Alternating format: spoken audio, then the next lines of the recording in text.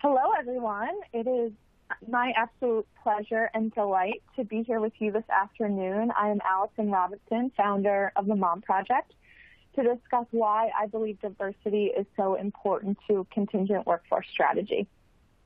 Before we dive into the material, I'd love to share a little bit about my personal journey and what led me to starting the Mom Project. Uh, so you can see my two sons here uh, in the photo, um, Asher and Henry. Before I started the Mom Project, I spent about nine years at Procter & Gamble. I had uh, the opportunity in the earlier part of my career to sell to some of our largest customers across the country, retail uh, customers like Costco, Walmart, Target, to help discover how we could grow the P&G portfolio of brands um, at their retail shelves and increasingly online as e-commerce became a bigger and bigger piece of the market share. And then um, the last three years that I was at P&G, I had the really incredible opportunity to lead our Pampers innovation team for North America. Uh, so what does that mean exactly? Well, it was both product innovation and commercial innovation. From a product perspective, how could we better construct our diapers to ensure that they don't leak during the night? And from a commercial perspective, how were we reaching mom where she was consuming content and media? and how that was changing so dramatically away from traditional media like TV, radio, print to online. And absolutely fell in love with that role, saw the incredible changes that were happening in consumer behavior because of technology, and was absolutely fascinated by, by the shift and the mom consumer segment. It was actually when I went on maternity leave from that job at Pampers. Um, with my son Asher in 2015 that I came across a stat that I just found jarring, which was that over 43% of women leave the workforce after having children.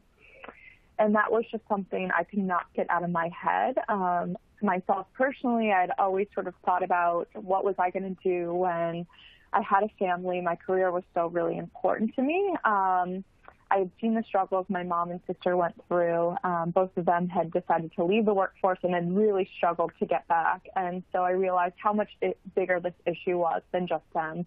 And so I saw a real opportunity to help fix this problem and make it so that women never feel forced to choose between their families and their career. Um, and so it really made it our mission at the Mom Project to build a better workplace for women, families, and the businesses they support. We're really excited to be tackling this problem really from two different angles. Um, the first being, how do we help moms feel very supported as they navigate work and family? Whether that means connecting them with the right opportunity at the right company or just helping them solve through other obstacles that they may encounter, whether they be childcare, um, reskilling. There's so much that we're excited to be bringing to our community to help unlock female potential. And for the customers that we have the great privilege of serving, thousands of companies across the U.S., whether it be Fortune 10, massive companies like AT&T or Facebook or companies that are just getting started and really helping them put their diversity goals into practice. So the Mom Project is really the marketplace that brings it all together. And just for some perspective on how large the mom workforce population is, consider that 86% of women will become mothers by the age of 44. So it is the vast majority of female talent um, at the experience level. So we know there's about 38 million women across the U.S. in prime income earning years. Um, but these women often feel very misunderstood, um, particularly as they hit motherhood. And we know that 83% of women would actually leave their current employer for an opportunity that better supports their work-life needs. And at the same time, we know that company commitment to gender diversity is at an all-time high. Uh, company leaders, HR leaders um, are seeing that gender diverse teams drive better business outcomes. But despite company commitment to being at an all-time high, um, companies are simply struggling to put that commitment into practice. So you can see here in the chart, um, companies we see pretty consistently tend to do a good job at attracting female talent at the entry level, but then begin to lose women at the manager, director, VP, SVP, and most senior levels of the organization. And this is not coincidentally, as many women at that jump to manager are also starting to build families and either leaving the workforce for a period of time or leaving a large enterprise for maybe a smaller firm that's able to offer them more work-life integration. So we believe if we want to get that trend upward, we've really got to get into the minds and hearts of women to understand the ways that they want to work now, uh, which we know is really different than it was even five, ten years ago. Uh, the first big trend that we're seeing is more women are starting businesses um, really driving a lot of the small business growth in the U.S. If you consider that the current national average of small business ownership by women is 19%, but 41% of new businesses being created are women, um, you can see that this is a really big shift um, in terms of many women really embracing entrepreneurship. Second, we know more women are choosing to freelance. In fact, we know that women represent the full-time, uh, the clear majority of full-time freelancers or contingent workers. Um, and they most often cite caregiving as the reason why. Um, so we've seen women really overrepresented in what we would probably consider gig roles, right? So Instacart, Uber type shift work but we see this talent pool massively underrepresented in Fortune 1000 contingent work, which is um, a, a, huge area of focus for the Mom Project, getting these incredible women connected with these um, more robust opportunities with some of the best brands in the world. And finally, um, more women are pressing pause. So today, about 43% of highly skilled women are leaving the workforce for a period of time after childbirth. And that trend is actually on the rise, not decline with millennials. So we believe now is really the time to put an end to the challenges that women face when trying to navigate motherhood and career to be able to unlock the full potential of women in the workplace. The reality is that the number of women participating in the labor force in the U.S. has actually not moved in over 20 years, but we believe now is really the time to get that number growing again. And we're seeing really a confluence of factors that we believe will help drive this shift. Number one, we talk company and leadership commitment to gender diversity is at an all-time high. This has really moved from being a social topic to a business imperative that increasingly even CEOs are scorecarding themselves on. Second, rapid technological advancement is, is simply changing how work gets done. Uh, we're seeing a lot of shift around uh, work structure, which is really exciting. Certainly tools like Slack, Zoom are making uh, distributed workforces much easier to manage. Um, so we believe this all means really good things for women. Um, third, social norms and gender roles are quickly evolving, uh, whether it be Alexis Ohanian, who is publicly talking about his wife taking precedence um, in in their family unit or uh, major league baseball players sitting out the playoffs to be there for the birth of their child. I think we're really like at such a cool moment in time when dads are really stepping up and gender roles are really evolving.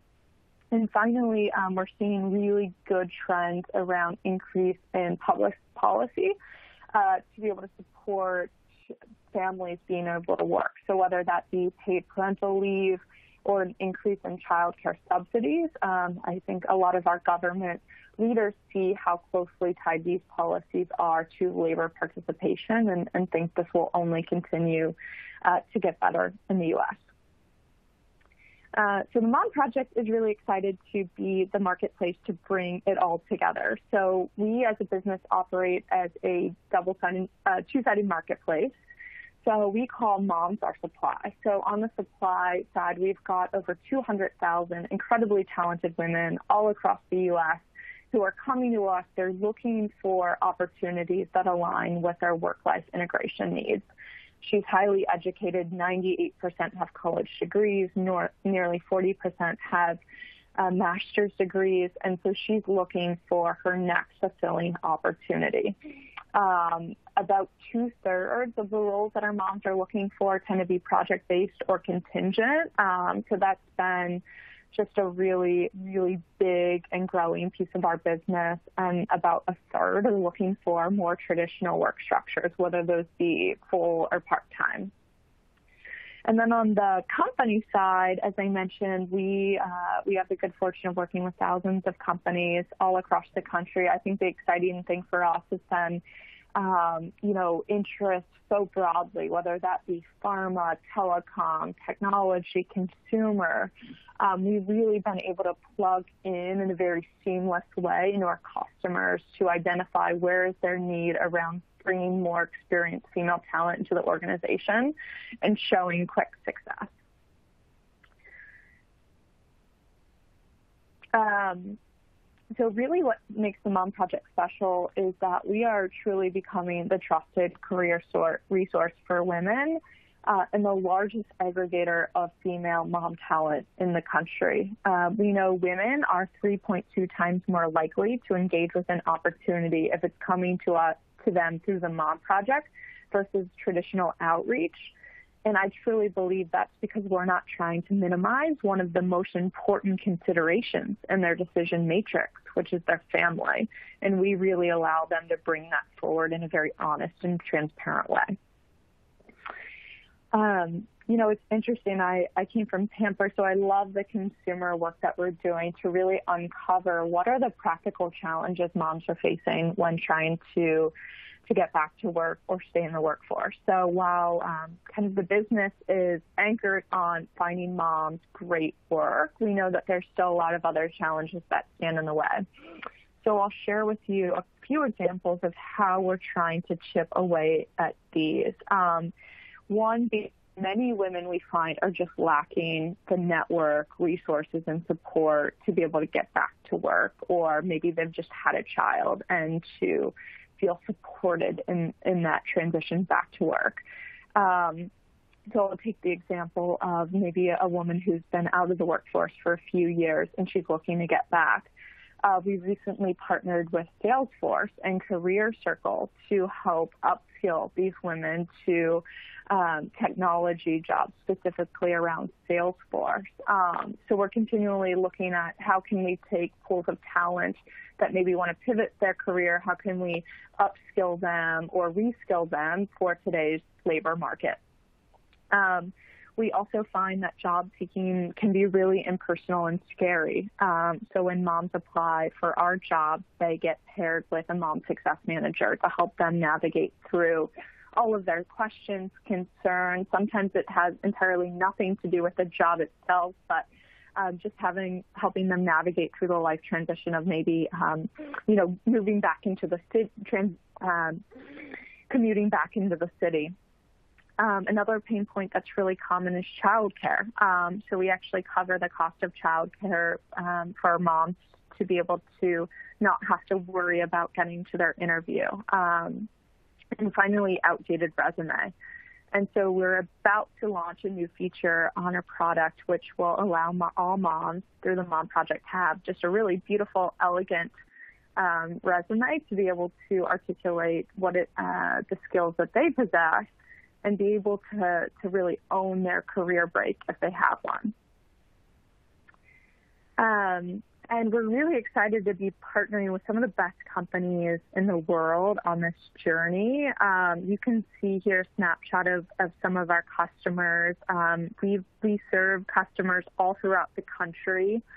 Um, some of the logos you'll see here, Google, Etsy, um, Gap, I think really just um, the depth of the network allows us to serve our customers in really thoughtful ways. Um, and again, our, our focus has really been around serving their contingent workforce needs, um, as well as with talent acquisition teams. Do they have roles available where they really need to bring more female talent um, into the organization? Great. Um, and our approach to partnering with companies to upend the status quo and really unlock unlocking the full female potential um, ha- really takes three forms with the companies that we work with. The first being research and insights, the second being hiring and retention, and the third being awareness. Um, so I'll start with awareness. Um, we love shining a light on the great work that the companies we work with are doing to support women and families. Uh, so some examples of how we work with companies in this capacity, um, we often participate in ERGs. Many of the large companies we work with have women's groups, family groups, and so we're sharing best practices that we're seeing across the market with their groups, whether that be on parental leave, um, child care, fertility. Um, we love participating in these. We also love telling a national audience about the good work that, that the companies we work with are doing. It's very common for us to pitch um, some of our partnerships with media and really be able to garner national attention to drive um, our, our customers' employer brand and really elevate them as a company that supports and respects women, women and families. And research and insights, um, this is a really important piece of our business um, to really be able to deliver on our mission of building a better workplace for women and mothers in the businesses they support. We feel like we not only have to be able to connect women with the right opportunities, but we want to help our the companies we work with structurally um, be better at how they support and respect women and families. Um, so we actually call this division of the Mom Project Mom Project Labs. And so we have a PhD on our team, Dr. Pam Cohen, who leads this work for us. She's a behavioral economist and social psychologist. Um, so she helps companies under, understand their biggest opportunities to drive impact around retention, diversity, equity, and inclusion. So this is a really, really um, important piece of our work. And just to share with you an example that we recently did, one of our customers is the technology uh, marketplace Etsy. Um, and so Etsy came to us after having having um, announced a very generous parental leave. Um, so there was an immediate immediate need they had around staffing those gap those extended gaps. So the Mom Project is really proud to partner with with Etsy on being a maternity ship is what we we've trademarked the term um, maternity leave coverage for a lot of different roles across our company, ranging from merchandising director, product design, um, marketing. And Pam also helped them um, understand some opportunities they had to even further amplify their parental leave program. Um, so just an example of a really robust customer partnership where we're not only providing Etsy with, with the hiring, um, but we're also helping make policy recommendations um, that will ultimately drive retention, productivity, and access to diverse talent. And the hiring, um, last but not least, um, so we've learned a lot since we've been in market about four years in, in terms of the way that customers want to work with us. I think the areas that we've found a lot of success around staff augmentation. Uh, we're very, very excited about our partnership with SAP Fieldglass and what this means in terms of our ability to bring more of these staff augmentation contingent roles to our 200,000 moms. Um, that will continue to be the biggest piece of our hiring business. Um, I spoke a little bit about maternity ship. I just love this. It's so on mission for us, moms covering for other moms or dads who are going on leave. Um, and I mentioned we also work with talent acquisition leaders, HR leaders, um, for more um, full-time roles and return to work programs. An example of this is BP. They were the first customer of ours to pilot a return to work program. And it's been so exciting to see the success of that program um, and it's and how it scaled. So we, we we started that program bringing five women back to work in Chicago for their downstream fuels business. And it's since um, increased. We're looking at 2020, you know, dozens of, of professionals getting back to work across different geographies and business units, um, and that just built so much momentum within BP. Um, so it's really, really been very cool for us to be able to author these return to work programs with our customers and really see um, them be successful. And uh, an interesting note around uh, diversity as it pertains to the contingent workforce and a trend that we're seeing, I think, for a lot of contingent workforce programs, perhaps they view diversity from the perspective of ownership, um, but found that that didn't always translate to candidate talent diversity. So really proud to share that the Mom Project is not only a women-owned business, but truly our talent pool is diverse. Um, over 30% of our candidates are also ethnically diverse. 90, over 90% are female. Um, we also do have dads um, and women who are not not mothers on the platform. So we really are very inclusive and we you do not have to be a mom to join the Mom Project. We really welcome anyone that aligns with our mission to build a better workplace. Um, and from a product perspective, we're really excited about what we're doing to very uh, fairly match talent with opportunities. We've seen that, um, you know, there can be a lot of bias that can potentially exist in match science. And so we are proud that our algorithms are built for women by women. Um, and so we're not only uh, factoring in technical uh, capabilities, but also um, work structure preferences, um, behavioral science to make sure that we're really um, making sure that women are being understood and, and matched properly. Um, so this work is, is really exciting for us. This is work that Pam, Pam leads for us. And um, we think we're doing some, some really cool stuff on, on the match front. Um, and just to quickly summarize our talent community, as I mentioned, we've got over 200,000 users on the platform. Um, they're diverse. They're in all 50 states. As you think about how we could potentially plug into your work ecosystem, um, the Mom Project really excels at professional function. So where we've got the strongest depth of talent today is really around marketing, project management, creative, operations, digital, HR, technology, legal, finance, sales. Um, these are women who typically have eight to 10 years of experience. Um, and actually, 72% of our users are actively in the workforce um, and just looking for an opportunity that better aligns with their work life needs. So it, it tends to be a very passive, passive workforce. And with that, I am going to kick it over to share a company spotlight with JLL. JLL is a professional service firm. We provide real estate services and products to organizations that are both owners and occupiers. And we have over 90,000 employees across the world. One of the teams that I support, they're closing a lot of transactions on a daily basis, and we've had challenges in the past staffing that role. And so I reached out to Jane to ask, what is the Mom Project all about? We are the hub for women that are looking for work and life integration and to find work that fits families. We get the great privilege of working with companies that are progressive, they're innovative, and they're committed to women. I was drawn to the mission. I know how hard it is to think about how could I leave this child at home, but I have this career. I don't want to leave that either. So I felt like the Mom Project was that perfect intersection so that women didn't have to overthink that.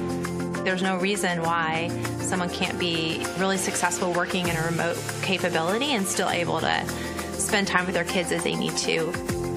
Three different kids, a working spouse as well. It's a pretty dynamic time in our house. I didn't want to give up my career because I enjoy what I do, but my family is a priority as well. So the partnership with Mom Project and JLL has fulfilled both of those for me. In my interview, I was asked what my needs were as far as work life balance, and that has never occurred in my life before. So I just found that really refreshing. Having that flex space, it just speaks volumes for the culture here at JLL, and it's nice to know that the senior leadership supports that. Working with Jane and Carrie, who are both working moms themselves, is really beneficial because they get it all their education, all their history is still there. When it's working hours, you're very productive because you know there's so much more to be done. We've had a lot of success with the Mom Project, specifically in our marketing, finance, and HR departments. They're hitting all of the criteria that we've asked for. The part time roles actually have ended up working out a lot better than having just a team of full time individuals if you're going to come in through a contract opportunity and you hit the ball of the park, there's a very good chance that you will have the opportunity to stay on and work at JLL. I wasn't aware that these things were even possible. It's very validating that I can balance my family life with my work career, and so I'm more a part of my children's lives on a regular basis, which means a lot. JLL has been an amazing partner. We really see them as a company that's leading the way for working moms the mission of bringing moms back to work, meeting them where they're at, and knowing that JLL has wonderful opportunities for them, that's what I'm most proud of. Being a working mom is something really special, and so I really love that we can help find like a perfect fit for some other working moms out there.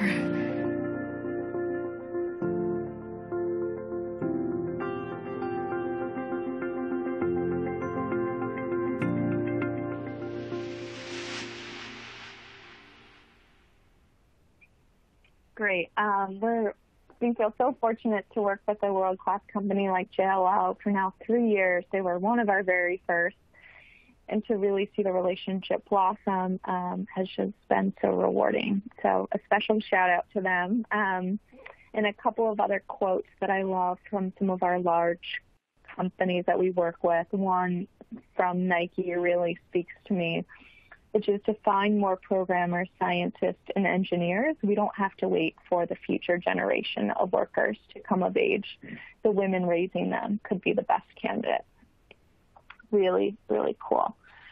Well, thank you all so much for your time today um, and allowing me to share a few thoughts on diversity and to share more about the Mom Project with you. I hope um, in some way we can help support your priorities for 2020 um, so if you have any questions, um, please reach out to me anytime, um, allison.robinson at the Mom Project, and please join us in building a better workplace. Thank you.